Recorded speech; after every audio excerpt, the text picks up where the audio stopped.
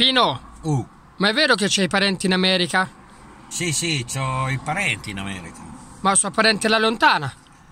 Sì, sì, abbastanza alla lontana. Poi neanche così tanto perché ce li ho anche in Australia, lì mo- molto alla lontana, altro che in America.